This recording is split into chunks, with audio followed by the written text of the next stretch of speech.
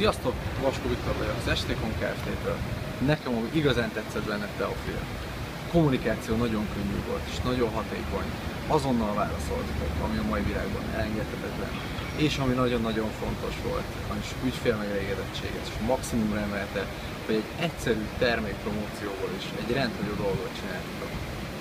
Nagyon elégedettek voltunk Teóval és Bettivel, mert igazán kedvesen szerették volna az embereket megölelni, fagyit adni nekik, szórakoztatóak voltak, és szerintem még dolgozunk.